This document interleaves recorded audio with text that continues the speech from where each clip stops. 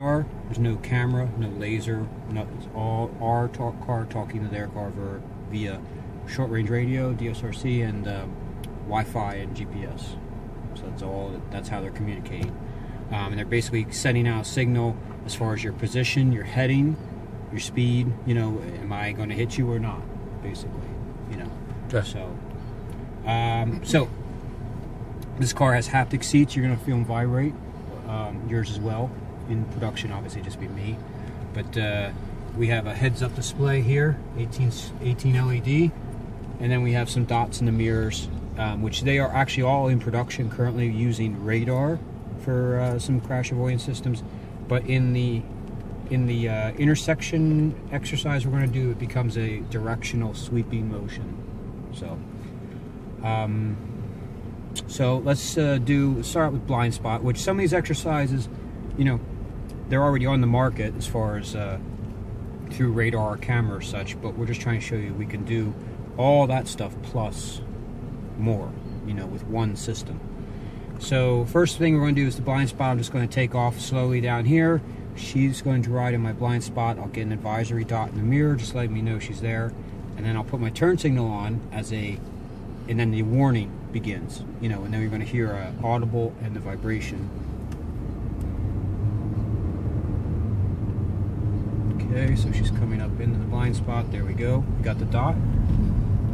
Okay, so now I'm gonna put my turn signal on as if I was actually gonna move over. Now I get the warning phase. So notice it's your right side because she's on the right side.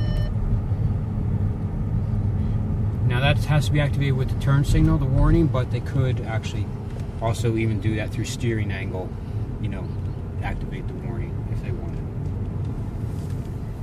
So an extension that V2V shines in is the lane change warning. So I'm going to be heading down here. Imagine we're actually doing like 60 or so down the highway. I put on my turn signal to move over.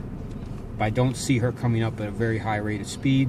By the time I move over, she would be there. So it's like a predictive blind spot. So as she comes into the threat area, we'll get the warning and then she'll pass us and then the warning goes off and I could move over. Put my turn signal on as if I'm getting ready to veer over. Here she comes. The warning will now stop because she's by us, so now I can safely move over. So into the next uh, scenario is called emergency electronic brake lights. This uh, this system has about a 300 meter range with obstructions included. So this first car is going to take off far down the, the road here. And imagine we have more than one car in between us. We could have you know, five cars in between us. Uh, what counts as her car because she becomes a threat when she hits the brakes. So she's going to come to a sudden stop up ahead, and then I'll get the warning. You'll notice it'll go off just about instantaneously as her brake lights go off.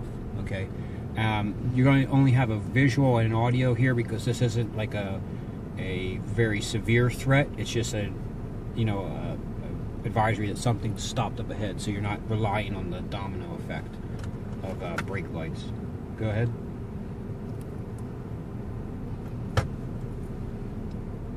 And he'll kind of cheat to the right a little bit so you can see her brake lights up there.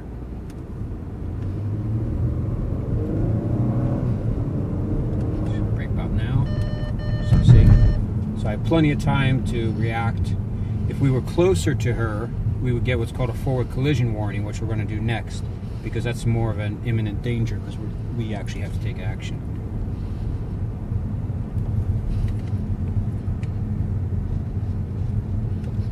So in this case, we're going to have uh, these, they call it slow moving forward collision. I'm going to let her take off, get up to like say 15 miles an hour, and we're going to accelerate at her.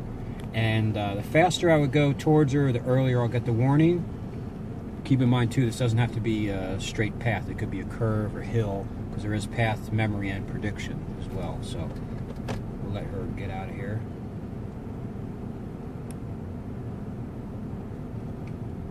I will have to brake a little bit hard for this, so just be ready. Okay, so here we go.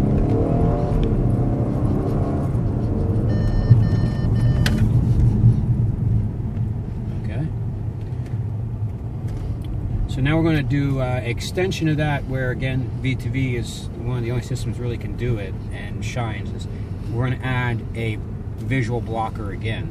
So the the Taurus is going to go down there and park in our lane in front of us, and the Edge is going to drive about one car length in front of me. So we're going to follow him pretty closely.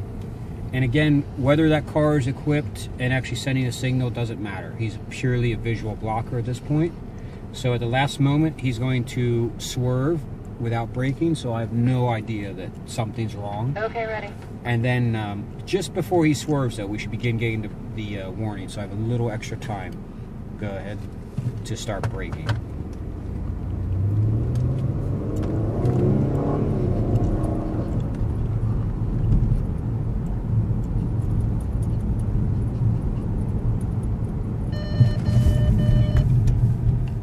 Okay.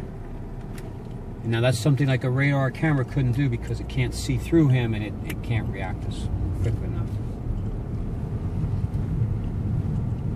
That same thing happened to me on the freeway. A lot of people say that.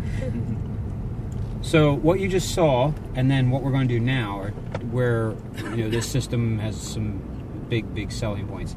Um, you know, again, we can look through buildings, we can look through obstacles, you know, whereas a camera or whatever could not. So we have a mock intersection here, we have a stop sign. Pretend we're trying to cross over the street here.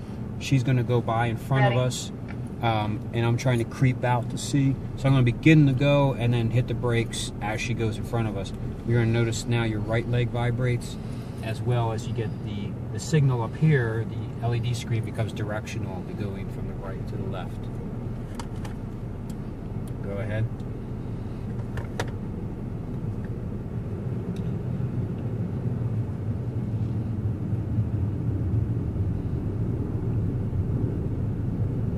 And go.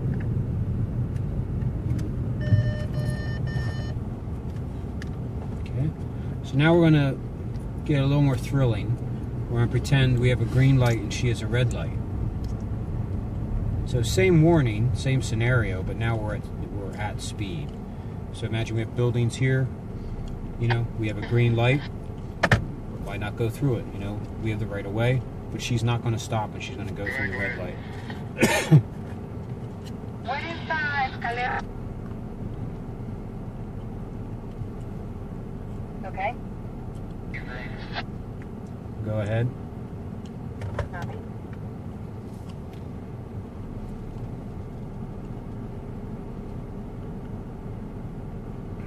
And go.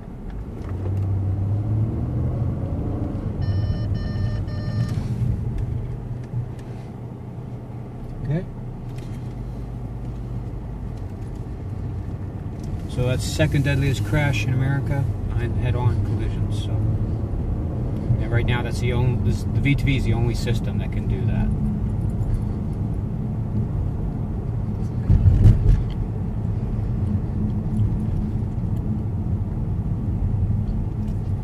So those are the uh, scenarios we're showing off today. You can, you can do more. You know, they, I did all the driving. Uh, there's no active braking or anything. Um, but uh,